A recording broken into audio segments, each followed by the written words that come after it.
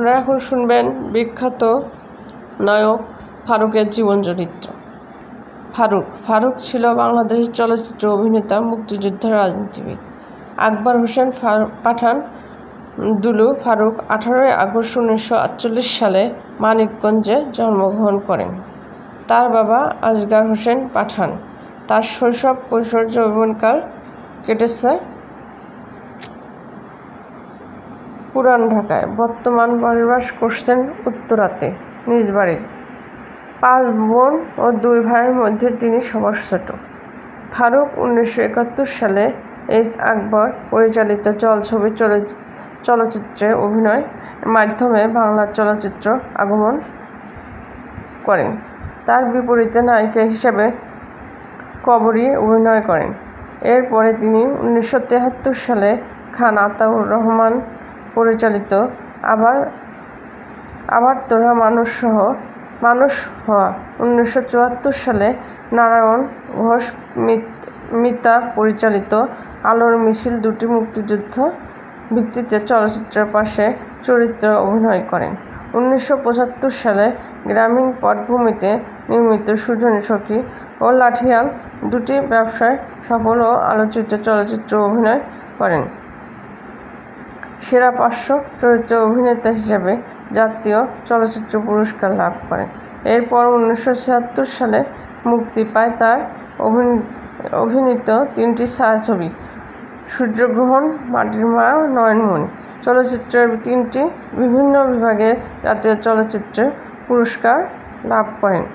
পরের বছর শহীদুল্লাহ কায়সার রচিত কালজয়ী উপন্যাসে শাহ রেং বউ অবলম্বনে নির্মিত সারেং বউ আমজাদ হোসেন পরিচালিত গোলাপি এখন ট্রেনে চলচ্চিত্রে অভিনয় করেন। চলচ্চিত্র দুটি নারী কেন্দ্রিক হলেও তার অভিনয়ে সমালোচকদের প্রশংসা অর্জন করে।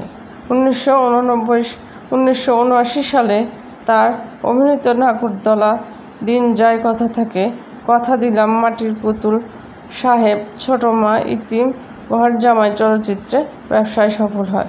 উনিশশো আশি সালে সখী তুমি কার ছবিতে শাবনাম বিপরীত শহরে শহরে ধনী যুবকের চরিত্রে অভিনয় করেন সমালোচকদের প্রশংসা লাভ করেন উনিশশো সপ্তাশি সালে মিয়া ভাই চলচ্চিত্র সাফল্যের পর তিনি চলচ্চিত্র অঙ্গনে মিয়া ভাই হিসেবে মিয়া ভাই হিসেবে পরিচিত লাভ করেন। চলচ্চিত্র বাইরে ফারুক একজন ব্যবসায়ী। বর্তমান গাজীপুরে অবস্থিত নিজের শিল্প প্রতিষ্ঠান Faruk meeting dyeing dyeing meeting dyeing and meeting. Dyeing meeting. Knitting. হ্যাঁ। নিটিং ডাইং অ্যান্ড ম্যানুফ্যাকচারিং কোম্পানির ব্যবস্থাপনা পরিচালিত হিসাবে নিয়োজিত আছেন। ফারুক স্কুল জীবনী থেকে আওয়ামী লীগ লীগে আওয়ামী লীগের রাজনীতির সাথে সম্পর্ক, সম্পর্কযুক্ত হন। উনিশশো ছেষট্টি সালে তিনি ছয় দফা আন্দোলনে যোগ দেন এবং এ সময় তার নামে প্রায় সাঁত্রিশটি মামলা দায়ের করা হয়। উনিশশো একাশি, একাত্তর সালে বাংলাদেশে মহান মুক্তিযুদ্ধে অংশগ্রহণ করেন ফারুক। দুই হাজার আঠারো সালে অনুষ্ঠিত এক- একাদশ বাংলাদেশ সাধারণ নির্বাচন ঢাকা সতেরো সংসদীয় আসন থেকে আওয়ামী লীগ লীগে মনোনীত প্রার্থী হিসেবে নির্বাচনে অংশগ্রহণ করেন এবং সংসদ সদস্য হিসেবে নির্বাচিত হন। ফারুক ফারজানা পাঠান ফারজানা পাঠানকে ভালোবেসে বিয়ে করেন। তাদের দুটি সন্তান রয়েছে, কন্যা ফারিয়া তাবাচ্ছুম পাঠান এবং পুত্র রহসন হোসেন। দুই হাজার বা সালে জুলাইয়ের নায়ক ফারুক এক মাস ধরে ব্যাংককের বামনরুন গ্রাদ হাসপাতালে চিকিৎসা, চিকিৎসাধীন ছিলেন।